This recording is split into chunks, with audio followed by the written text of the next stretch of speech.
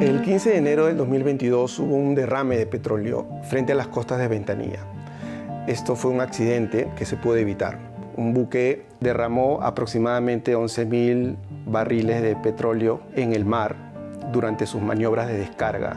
Inmediatamente la mancha empezó a expandirse, abarcando las costas de Ventanilla, Santa Rosa, Ancón, Pasamayo, incluso hasta eh, Chancay, ¿no? invadiendo el litoral, las playas y también la zona marina.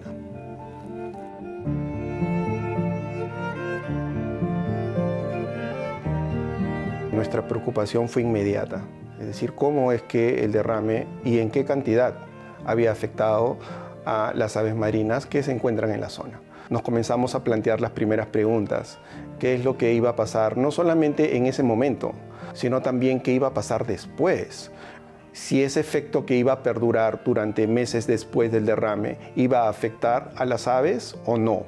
Inmediatamente nos pusimos en contacto con diferentes instituciones y de esa forma formamos una alianza una con eh, Louisiana State University en Estados Unidos, con la ONG peruana Conservación y bueno, nosotros que teníamos la experiencia en estudio de ecología de aves marinas. El PENIPA, con el aporte conjunto con la Universidad Científica del Sur, ha hecho posible de que este proyecto pueda ejecutarse. Las aves morían o varaban en las playas intoxicadas con el, con el petróleo y no se sabía qué hacer.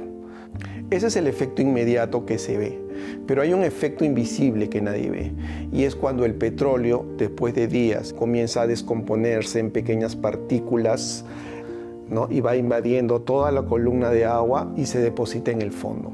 El compuesto tóxico se va acumulando en diferentes partes de la cadena alimenticia hasta llegar al ave esos efectos no se ven. El ave puede estar limpia, tú la ves, sus plumas están perfectas, no hay ningún problema, pero internamente ya puede haber una intoxicación. Puede tener un hígado hinchado, su sangre puede estar contaminada y no solamente eso, sino que los daños pueden pasar a las siguientes generaciones.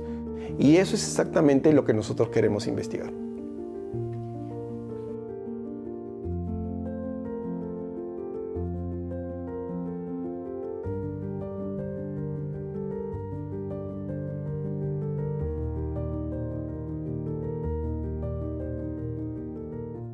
Para obtener la información que necesitamos, eh, nosotros tenemos que ir a la zona en donde ocurrió el derrame.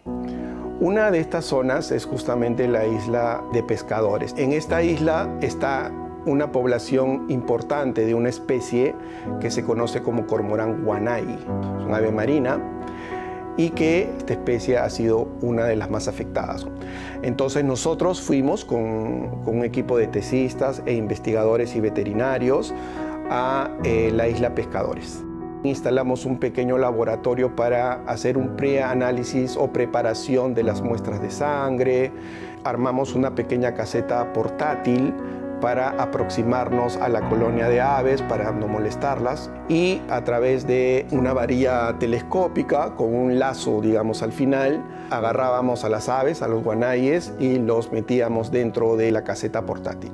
Dentro de la caseta portátil hacíamos las mediciones de las aves y obteníamos aproximadamente de 5 a 6 mililitros de sangre de allí, una vez que terminábamos el trabajo de la colecta de sangre, más o menos en dos días, veníamos aquí a este laboratorio para eh, hacer el procesamiento de la bioquímica sanguínea y el reconocimiento de células sanguíneas y el resto era súper congelado a menos 80 grados centígrados para llevarlas a Estados Unidos. Los resultados, por lo tanto, los obtendremos eh, a principios del próximo año. No se cuenta con información sobre los efectos que puede ocasionar el derrame, en diferentes aspectos, sobre la fauna marina y en particular en las aves marinas.